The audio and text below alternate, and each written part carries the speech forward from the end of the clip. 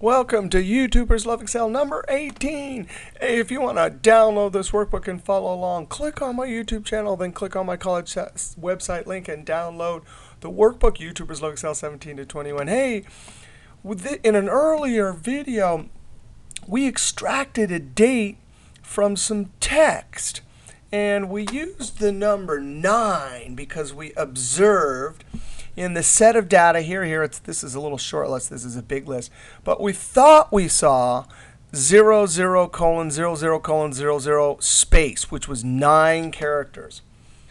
Now, I want to show you how to verify that a pattern because, you know, you don't want to eye. You don't want to just look through a bunch of data and eye it because our eyes always make mistakes. We want Excel to use logic and formulas, functions, or various other things to verify that 9, because we needed the number 9 to extract data. Now, let's look at the formula we created in that earlier video. I hit F2 here.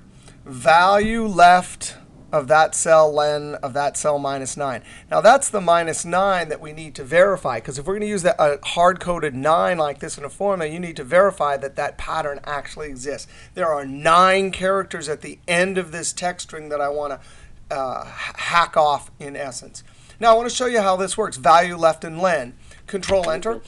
With that cell selected, I want to invoke Formula Evaluator. It's the coolest thing, one of the coolest things. Before we had Formula Evaluator, I don't know what we did. We did a lot of F9ing. Uh, here it is, Formula Auditing, Evaluate Formula. In 2003, it's um, Tools, Formula Auditing, and then Evaluate Formula. Now let's look at this. Let's see how it examines this. Notice the underline says, hey, I'm going to look there first. So Evaluate. Hey, look, it's looking at that text string, and you can tell it's text string because it's in quotes. Then next, it's going here because it's in the left. It says left of this. But now we need to say how many characters from the left we need to take. We can't just take um, 10 or 9 because this, this date varies. It could be one character at the beginning or two. This total number of characters here for the date could be 10 or 9. So that's why when we get to how many characters you want to take from the left, you have to say the length of the whole thing minus 9. So the length of this whole thing, it's looking at the text, is 18 minus 9, which is 9. Now watch this. It would work fine if left actually delivered a number. But left delivers text. So then you have to use the value function, which is programmed to take a text string and convert it to a number. I'm going to click Close. Just to verify, left, it looked there. It took the length, subtracted 9. It took that left, but that left delivers text to a cell. So we had to use the value function to convert that text to a number. And the whole question of this is how in the world do you verify that 9 when you observe it? All right, let's go over here. Um, equals, and we'll use the right function. Open parentheses, the right of what? That. Comma, 9, because that's what, the, what we saw with our eyes. But we want Excel to tell us for sure. Now, what does right of this 9 does? It's going to deliver those quotes. Now, I could double click. Oh, but darn, we have to eye this too. a little sick here. so I'm going to click on the top cell and hit F2. To verify with true or false, we then say equals and in quotes space 00 colon 00 colon 00 end quote. That is what we actually thought we saw with our eyes. And so we're saying in this formula, is that text string equal to that text string? Control Enter and double click and send it down.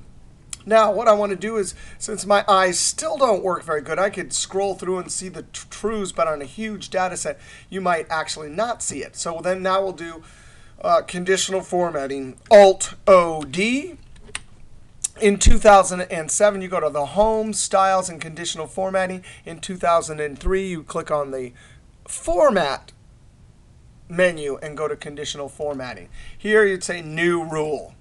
And then there's Use Formula. And I just want to say for a formula, this, and I'm going to hit F4, F4, F4, equals false. By the way, there's something up here that could uh, do this too. I always use formulas because I'm not limited by the built-in features when I'm doing conditional formatting. So I always tend to think in formulas, true, false formulas. All right, and then the format will be, I'll click Fill, which is pattern in earlier version, and I'll say yellow, click OK. Click OK.